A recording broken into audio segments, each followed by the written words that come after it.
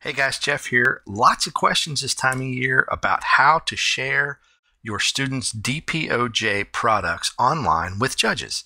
During the registration process, you'll see that it calls for you to upload a URL directly to the products that you're submitting. So lots of folks say, hey, how can we do that? Well, there's no specific answer, but one way that's become very popular has been to use Google Drive. Know again that this is not a requirement. You don't have to use Google Drive, but for folks that are interested, it is pretty simple, straightforward, and will solve a lot of those issues about um, getting the product out to the judges quickly. So, first thing you want to do is you'd want to log into your Google Drive. I'm already logged in, and we're going to create a new folder.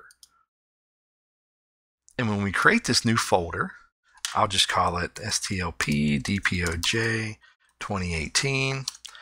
Now, once we've created the folder, I'm going to go right click on it and I'm going to choose the share options and we're going to get a shareable link. Now, the important part here is we're going to drop this down and make sure that you set it for anyone with the link.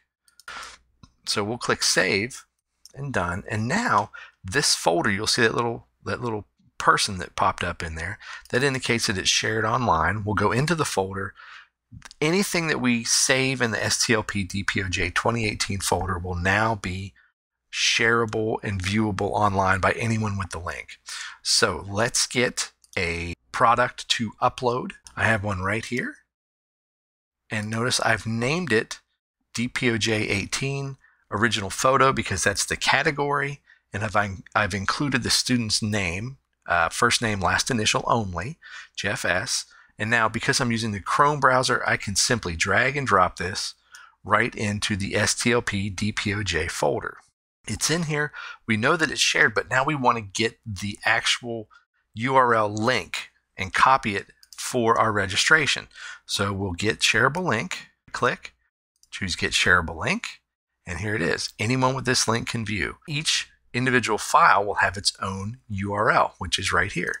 I'm going to copy and paste. So I'm going to control C once I've highlighted this address. And now I'm going to head over to my DPOJ registration. I've already got it pulled up right to the original photo product section. I've already named the photo. I've already put the student's name. And now all I have to do is right click and paste. And there is the link that goes directly to this original photo. This is important because judges don't really want to come to a directory or a whole folder and have to scroll through to determine which product they're supposed to score. If you can give them a direct link, you'll see that this direct link, I'll just paste it into a browser.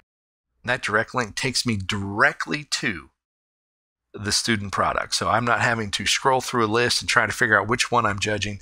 It takes me right there, and that is so important for judges. That is a quick way to get your products listed on your registration. Uh, it's not the only way. You're welcome to use whatever method works best for you, but a lot of folks have been asking about Google Drive, so that was just a quick tutorial. Thanks.